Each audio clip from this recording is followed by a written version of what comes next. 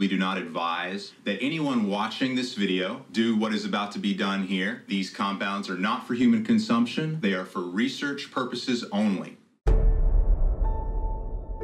Our civilization is vulnerable. It's not sustainable.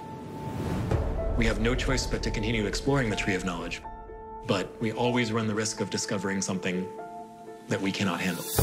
We can take a gene from one organism, put it in another, and make a medication that could save a bunch of people's lives. I'd assumed that getting DNA and, and, making changes and stuff cost millions of dollars, and that you needed a huge lab and a research team. You'd be surprised what there is on YouTube.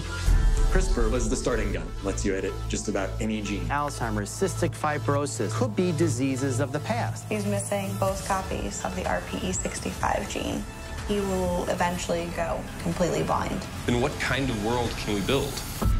The risks of humans undermining their own existence are very real. We are developing gene therapy technologies to help people take the health of their lives into their own hands. There needs to be rules. Don't put gene drives into the wild. Gene drives could cause irreversible ecological damage. It's amazing the things that we could do with this.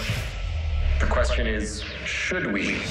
What happens if diseases were just eradicated? A technological breakthrough that could change the future of mankind. This is truly experimentation on human beings. These cells can regrow your kidney. Biohackers actively working on it themselves. How many injections have you given yourself?